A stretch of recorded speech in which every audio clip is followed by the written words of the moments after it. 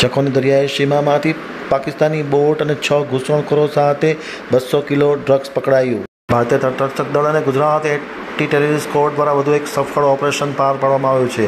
બસો કરોડ રૂપિયાનું હેરોઇન પકડી પાડવામાં આવ્યું છે. અરબી સાગર જખૌની ભારતીય જલસીમામાં પાકિસ્તાની બોટ અલ તયાસા સાથે છ માણસો જે ઘૂસણખોરો છે, એને પકડી પાડવામાં આવ્યો છે. બોટમાં અંદાજિત બસો કરોડ રૂપિયાનું ચાલીસ કિલો હેરોઇન મળી આવતા ભારે અફડાતફડી મચી જવા પામી છે. આ બાબતે ગુજરાત એટીએસ દ્વારા એક મોટો ખુલાસો કરવામાં આવી રહ્યો છે. પંજાબની જેલમાં પાકિસ્તાનથી ડ્રગ મંગાવવાનો કારોબાર ચલાવવામાં આવતો રહ્યો હતો. જે પકડી પાડવામાં આવે છે તે ડ્રગ્સ કન્સાઇનમેન્ટ કપૂરથલા જેલમાંથી મંગાવવામાં મંગાવવામાં આવ્યું તેવી શક્યતાઓ વ્યક્ત થઈ છે. જેલમાં કેદ નાઝરીન મૂળ વ્યક્તિને આ ડ્રગ્સ મંગાવ્યું હોય તેવી શક્યતાઓ જોવામાં આવી રહી છે.